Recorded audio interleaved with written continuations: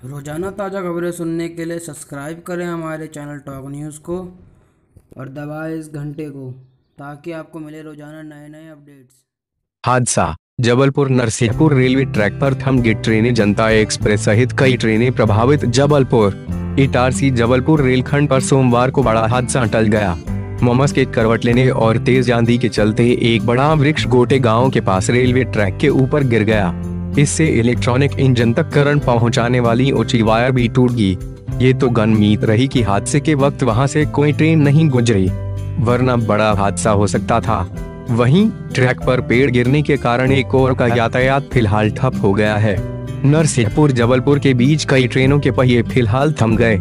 रेत यातायात बाधित होने से जनता एक्सप्रेस सहित कई ट्रेनों की चाल बिगड़ गई है। रेल प्रशासन द्वारा ट्रैक पर गिरे पेड़ को हटाने और ट्रेनों को दूसरी लाइन से निकालने की कवायद जारी है।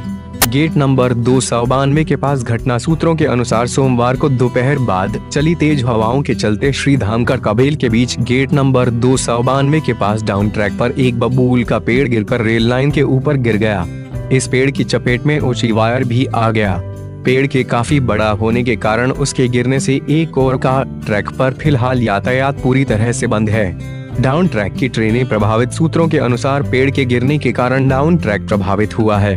इससे नरसिंहपुर से चलकर जबलपुर की ओर आने वाली गाड़ियों को करकाबेल और उसके आगे इटारसी की ओर पड़ने वाले स्टेशनों पर फ़िलहाल रोक दिया गया है।